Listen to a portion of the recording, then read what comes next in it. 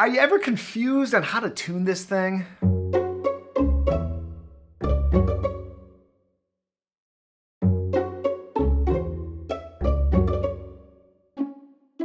What's going on? It's Jason Heath, and there are a lot of different ways to tune a double bass. I've tried just about every one over the years, and I've settled on two methods that I use pretty much every day. So we're going to get into both of them, when I use them, and why they work best for me.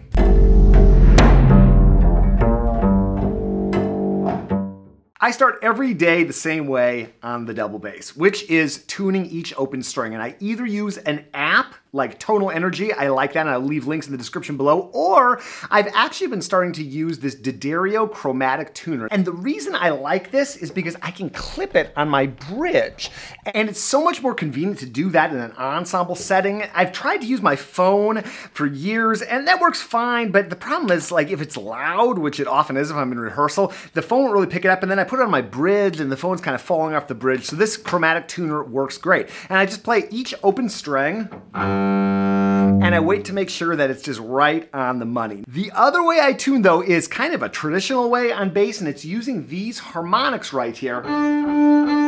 If you were playing electric bass, this would be the seventh fret over the note D, and this would be the fifth fret, and it's over the note G. So on the G string, we have D, and on the D string, we're over G. Say that three times fast. So those are the same note. And the reason why we bass players like to use those, especially in an ensemble setting, is because, again, ensembles are noisy. And even when I'm subbing with the San Francisco Symphony, yeah, I've used that chromatic tuner to make sure I'm in tune, but things can change and maybe we warm up for a while, or maybe I had the calibration wrong on my tuner, or all sorts of things can happen. So you're gonna need to, or I'm going to need to double check, and the concertmaster will come out, an A will be played, and we check and so I use these as like a verification. And if it's a little sharp or a little flat, I adjust accordingly. So back in the day, I used to only tune by ear and I would use those harmonics. That way is fine, but I find that these days just using a chromatic tuner would help. And I noticed one day everybody at the gig was using a chromatic tuner and I thought, eh, maybe I should start doing that too.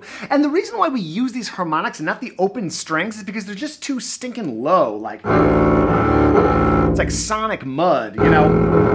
And I've been playing the bass for, I don't know, long time at this point, and I still can barely tell if those open strings are in tune without using a tuner or without using these tuning harmonics. So that's how tuning works for me on the bass. I use both methods, and I start by using the digital information that I'm seeing on my tuner, and then using my ear to verify. And you can also check these harmonics against the open strings, just make sure everything sounds nice and even. And if things are sounding funky and you're having a hard time getting your bass to settle, that could be a sign that need to think about changing your strings. Check out this video we've got linked up for more info on strings and we'll see you in the next one.